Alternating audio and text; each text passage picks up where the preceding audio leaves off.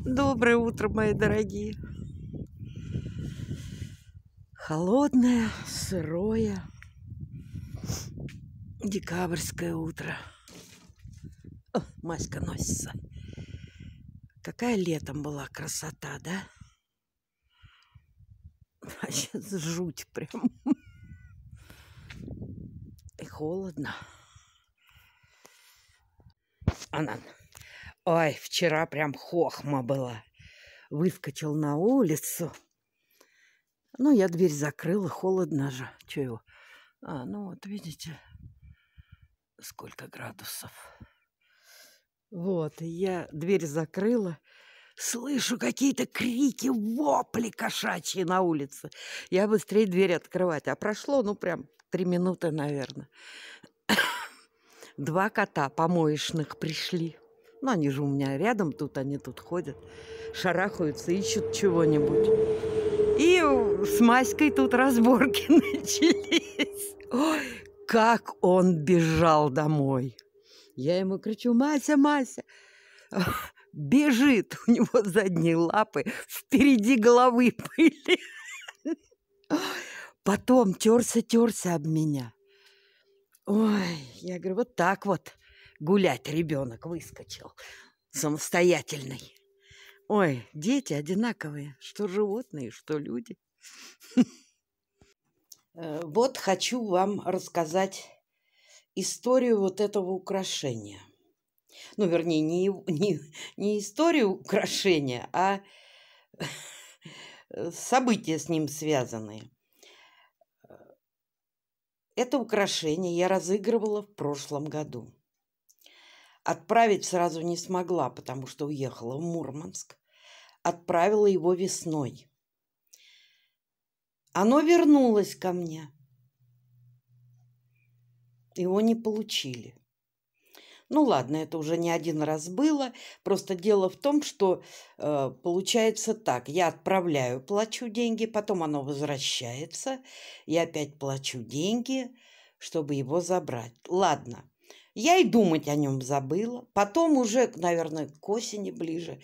Лена Батл мне написала, что вот я не выслала украшения. Ага, смотрю адрес знакомый. Это вот родина Дед Мороза наша, нашего. Ладно, я его опять отправила. И оно опять вернулось ко мне. Нет, больше я отправлять не буду. Оно мне уже обошлось в тысячу рублей туда-обратно, вот эти катания. И вот несколько раз так было. Отправляешь, и все это всегда связано с розыгрышами. Отправишь, вот раза три или четыре такое было, и потом возвращается. Но это было уже давно. Это уже было, наверное, года два с половиной назад. А вот это, да, вот оно катается туда-сюда. Это винтаж, это французская фирма. Ну и не из дорогих, но... В общем, короче, остается оно у меня, раз так дело происходит с ним. Вы прекрасно знаете, мои дорогие, что я вам все отправляю. Ну вот получается так иногда. О, день-то разгулялся. Вот так у нас вот ездит. Сначала музыка, потом машина появляется. Ну, прям погода. Надо пойти стирку, что ли, зарядить. Не сохнет вообще белье на улице. Ну ладно, приятно, хоть солнышко. Уже хорошо. Надо мне в аптеку ехать, таблетки кончились. А прям не хочется. Я вот как займусь, сделаю какое-нибудь украшение. Мне прям, ну, не хочется отрываться. Делаю такие украшения такое в стиле боха. Что-то меня последнее время потянуло. Ну, вообще люблю такие боху украшения. Вот делаю красные. Посмотрим, что получится. Ну, будут как длинные бусы и внизу как типа галстучка. Вот, так что делаю. Кот нагулялся, набегался, наелся, спит. Но, правда, умудрился перевернуть коробку, которую я делаю. Она сохнет у меня. Перевернул. Но он не может же спокойно. Ой, птичек сколько полетело. А, мяукает. Проснулся, что я вышла на улицу. Мяу, мяу. Так, ладно, наверное, пойду постирать.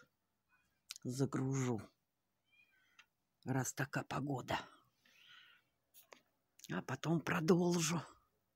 Я, правда, еще комментарии сегодня не читала. Девчонки, вы меня что-нибудь спрашиваете, что вам интересно?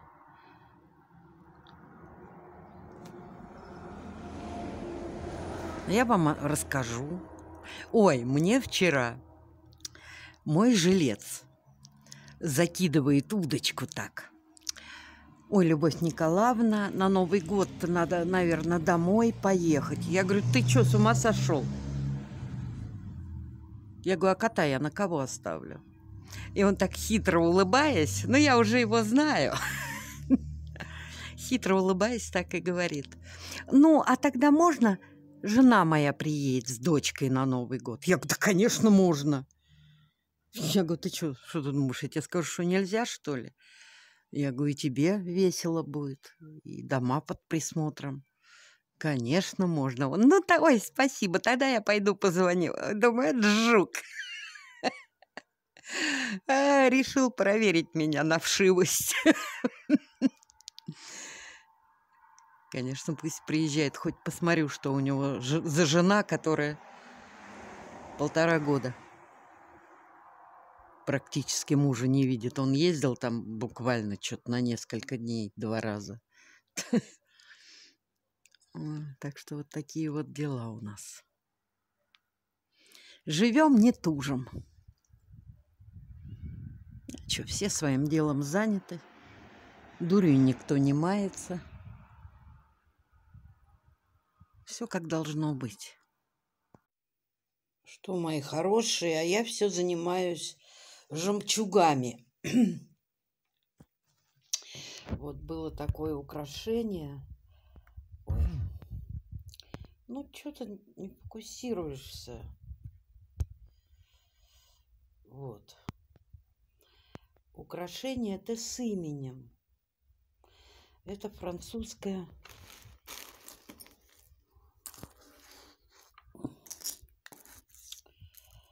французская вот у нее, значит, э, ЛБ В и Р. Ну, это, видимо, винтажное, потому что аж все проржавевшее уже. Вот, я решила его восстановить.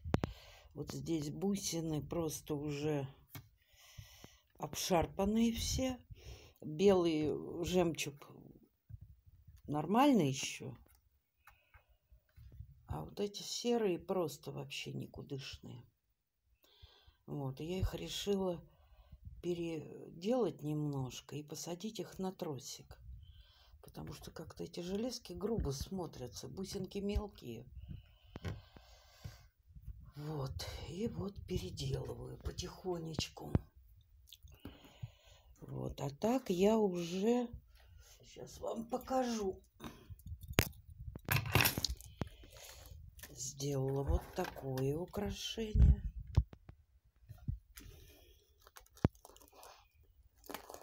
Вот. Ну, я завтра их все покажу на манекене. Так, вот такое вот тоже переделала. Это было Алинкино украшение ей когда-то Дмитрий Иванович подарил друг наш. Вот это тоже не просто так.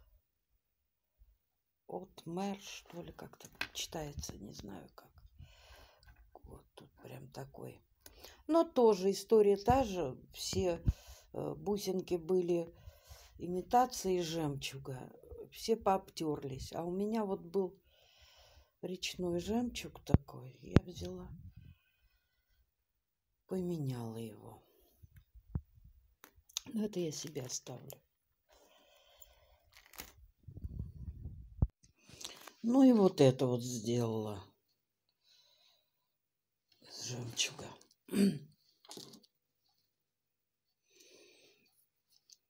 Хотела вот эту раковину сюда, но подумала, что и девочки мне писали, и я сама так подумала, что перебор уже. Слишком. Вот здесь, в этом украшении, вот это, это все натуральный жемчуг. Вот только вот здесь на шее не натуральный. Потому что у меня просто не хватило. Ну ладно, покажу вам на манекене завтра. Сегодня уже темнеет, уже не до этого. Не видно будет ни шиша.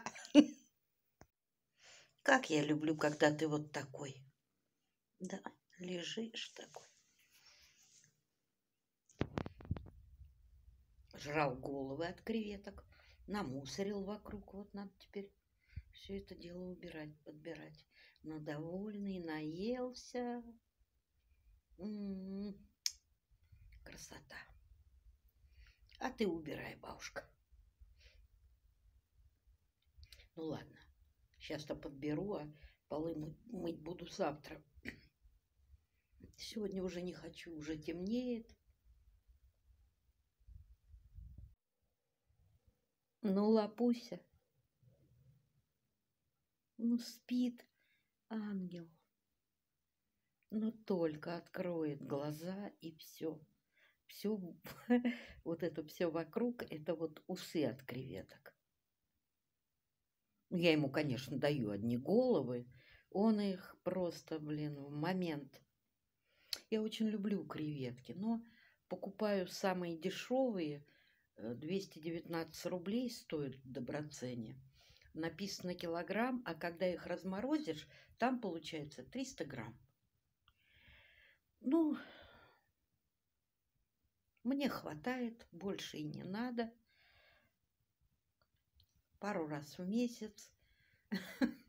Ну, люблю я креветки, да. Вот, вот он ангел.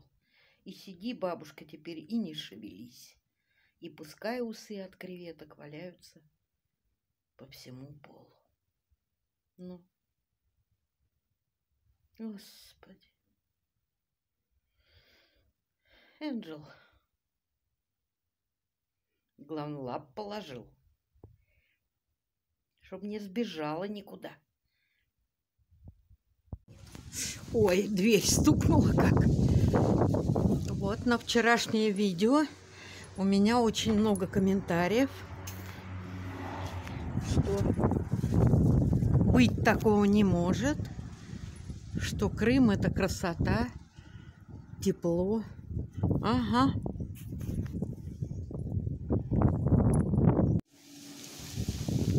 Еще и начинается такое ощущение, что снег с дождем. Маська, ты куда выскочил? Пойдем домой бегом. Пойдем, маленькой. Мася, давай.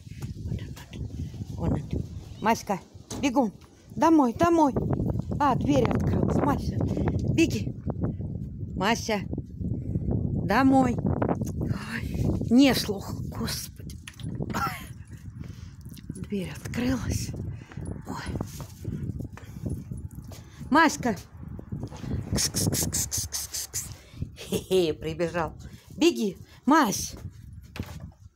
Мася. Мася. Ну ладно, сиди на улице.